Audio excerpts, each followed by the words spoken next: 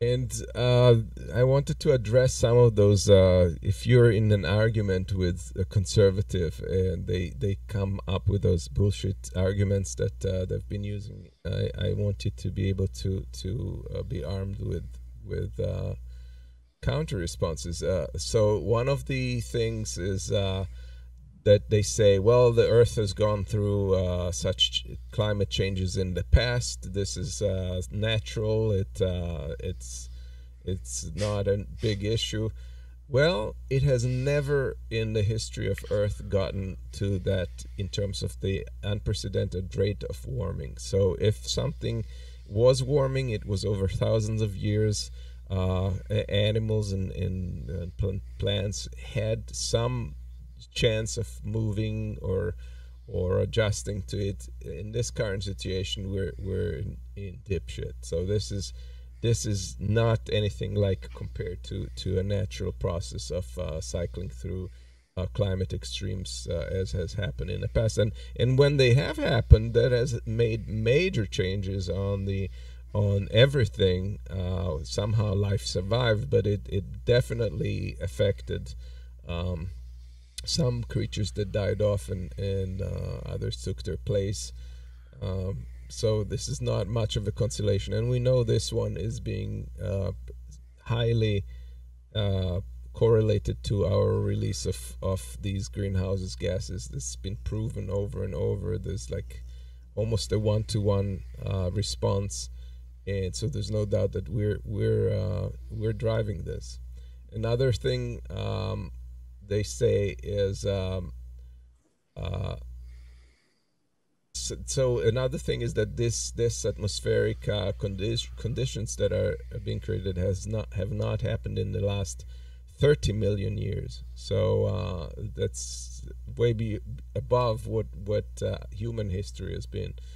Um, if no action is taken let's say we let it uh, do business as usual uh, will reach conditions that have not been seen on Earth one mil- 100 million years. So this is not not something yeah, to look forward to. And uh, uh, to I, lower... I did this to you. I threw this in there. Yeah, go ahead. Yeah, yeah. Well, yeah, I saw these two Trumpers in the deck. You know, this these two slides in the deck of this Mister Two Terms talking sense, and I go, well, you know, you can't have them saying things like they know what's going on. So, so this was obviously one that came to his senses. And so I added another slide to carry on the to show that this guy's, you know, he, he's had an epiphany. And so he, um, now he's going to use his redneck wisdom to help us. So that's why I say, you know, it's time to fish or cut bait. We got to do something about this problem here. Yeah. Yeah. So you learned a little bit about geoengineering uh, not to say that's right or wrong, that's another issue. Yeah, but to say, but uh, the fact is, CO2 by one part per million takes uh, eight um, billion tons of CO2 to be um, carbon to be sequestered. Yeah, it's a lot of carbon. And and if, if you look at the at, at the first slide, you know, uh, if even even if what what's happening today is not uh, uh caused by, by us by humans, you know, it doesn't change the fact what's going on and that we that we have to do something about it right? It do, it doesn't change the fact that we are getting boiled like frogs in the pot if we don't do anything. But the delay game goes on because power yeah, of course. the way of they course, are of course.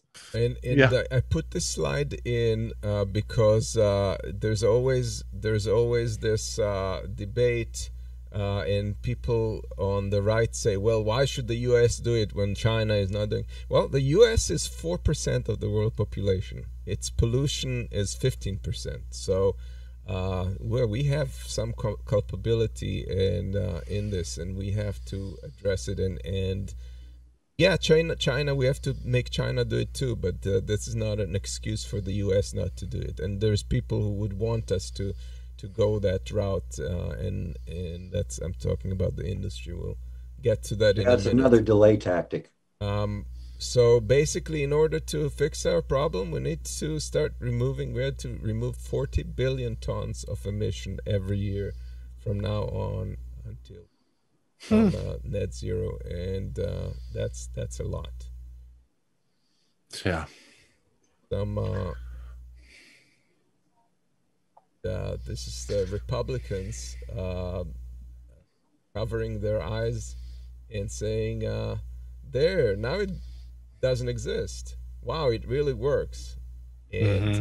that's funny because the same opposite is being drawn in conservative uh, media, and this is how they see. But it. you, but the uh, uh, um, the, the cartoonists should should have also uh, at, at uh, the Democrats, you know, because they are not serious in the in this in this game as well, you know. right? Well, because Otherwise, otherwise they would have done uh, correct politics against it. there are there are a core people a core bunch of people who are who are uh, the culprit in that and we will get to that in the in the section uh, we're going into but this is this is how republicans they they look at the uh, cl- global ca- climate change and they think that it's a puff of air uh, well in this case it's it's the capital but i'm i'm making a wider point here They see what they want to see. Yeah. And uh, here's uh, here's what we are. We promised you uh, an expose about the uh, fossil uh, fossil fuel uh, industry. Greenpeace has set up a, a lobbyist for the ExxonMobil Corporation, and uh, he got him uh, to think that he was uh, recruiting him for a position, but instead they were recording it, and he has exposed things that we've been thinking and saying here, but that hasn't yet had. We haven't had the proof. We haven't heard it from the horse's mouth, and this is the horse's mouth. And Joe Manchin is mentioned. Go with the first one. Hi, good to see you. How are you? Moments Yeah, great. later, Mr. McCoy will become one of the first ever executives to claim that ExxonMobil has aggressively fought climate science using front organizations to maximize shareholder profit. Did we aggressively fight Yeah. against um, uh, some of the science? Yeah. Uh, yes. Did we join some of these shadow groups uh, to work against uh, some of the early efforts? Yes, that's true. Um, but there's nothing there's nothing illegal about that. Yeah. Um, you know, we were looking out for our investments. We were looking out for our, our in uh, uh, our shareholders. In response, Exxon said, We've supported climate science for decades and accused Greenpeace of waging a multi decade campaign against them and the industry. Keith McCoy thinks he's being headhunted for a new job. In fact, of course, he's being covertly filmed. Congressmen are fish. Exxon is the fisherman. When you have an opportunity to talk to a member of Congress, you know, the the, the, the you know, it's it's I, I, I liken it to fishing, right? Mm-hmm. You, you you know, you have bait, you throw that bait out, you know, it's all these opportunities that that you use that, and, and to use the fishing analogy again just to mm-hmm. kind of reel them in because they're a captive audience they know they need you and i need them Senators pressed to do Exxon's bidding behind closed doors. You want to be able to go to the chief and so the chief knows you that you can go to the chief and say look we, we've got this issue uh, we need Congressman so and so to be able to either introduce this bill. We need him to make a floor statement. We need him to send a letter. Yeah. You name it. We've asked for everything. So, who are the fish? I'm Joe Manchin. I approve this act because I'll. The biggest catch, according to Mr. Coy, it's the conservative Democrat Senator Joe Manchin, who famously shot President Obama's cap and trade climate bill. And I'll take dead aim at the cap and trade bill. Joe Manchin. I talk to his office every week. Um, he is the kingmaker, uh, and, and he's not shy about s- sort of staking his claim early Yeah. and completely changing the debate.